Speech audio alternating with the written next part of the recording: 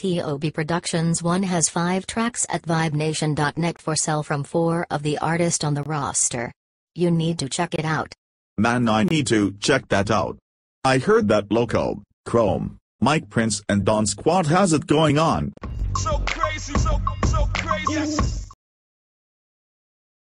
I love that video from Loco so crazy so so crazy. I just downloaded Loco's You Ain't Got That and it is hot Brian. All you have to do is go on your computer, and go to vibenation.net.